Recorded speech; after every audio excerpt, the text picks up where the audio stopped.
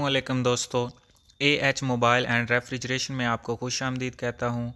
दोस्तों, आज की इस वीडियो में मैं आपको बताऊँगा कि सैमसंग ए इक्कीस एस इसका मॉडल ए दो सौ सतारह एफ़ है A two one seven F तो इसको पासवर्ड पैटर्न लग जाए तो आप किस तरह ख़त्म करेंगे ये दोस्तों आप देख सकते हैं मैंने पावर ऑफ़ भी किया है तो ऑफ़ नहीं हो रहा। अब हमने वॉल्यूम डाउन और पावर बटन को एक साथ दबा के रखना है।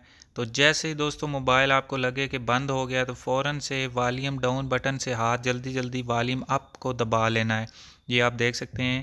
ये जैसे मोबाइल बंद हुआ है, मैंने वालीम डाउन को छोड़ के वालीम अप बटन दबा लिया है और पावर बटन कुछ देर के बाद छोड़ दिया है और वालीम अप बटन उसके बाद मैंने छोड़ा है। तो ये अब चला जाएगा रिकवरी मेन्यू पे, यानी कि हार्ड रीसेट वाले मूड पे। अब दोस्तों, यहाँ पे ये आप देख सकते हैं मॉडल ए दो सौ एफ़ है और बैनरी इसकी यू फाइव है।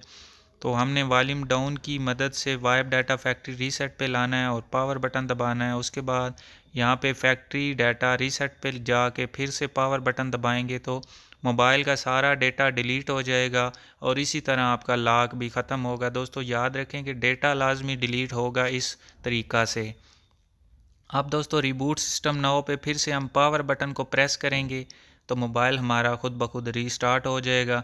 इसके बाद दोस्तों गूगल की सिक्योरिटी आ जाती है, यानी कि आप इसके ऑनर हैं या नहीं हैं, ये वेरीफाई करने के लिए हमसे गूगल आईडी मांगी जाती है। तो अगर आपको जीमेल याद है तो फिर तो ठीक है। तो हम पाकिस्तानी हैं, भाई, पाकिस्तान में ज़्यादातर जीमेल याद नहीं रखी जाती। कोई फ़र्ज़ी जीमेल बना के प्ले स्टोर पे लगाई होती है, जो बाद में हमें बहुत मसला पेश आता है। तो इस वजह से ये भी मोबाइल जो है, वो जीमेल किसी को पता नहीं है। तो उस वीडियो का लिंक दोस्तों आपको डिस्क्रिप्शन से मिलेगा कि आपने जीमेल किस तरह ख़त्म करनी है।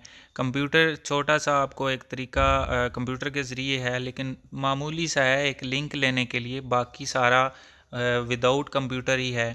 तो आप वो दूसरी वीडियो देख के अपने मोबाइल को बाईपास कर सकते हैं। अगर कोई दोस्त नहीं कर पा रहा हो तो मुझे कमेंट कर दे, मैं आप उसको ऑनलाइन बाईपास करके दे दूँगा। लेकिन उसके पास एक अदद पीसी लैपटॉप होना ज़रूरी है, जिसके ज़रिए मैं यहाँ से बाईपास करूँगा और उसकी फ़ीस होगी फ्री में नहीं होगा। तो दोस्तों ये वीडियो यहीं तक की थी। मैं उम्मीद करता हूँ आप दोस्तों को पसंद आई होगी। अगर पसंद आई हो तो लाइक ज़रूर कीजिए और शेयर कीजिए अपने दोस्तों में। ताकि वो भी इससे फ़ायदा उठा सकें। और दोस्तों, मिलते हैं अगली वीडियो में एक नए से ट्रिक्स के साथ। तब तक के लिए अल्लाह हाफिज़, अल्लाह निगेबान, पाकिस्तान, जिंदाबाद।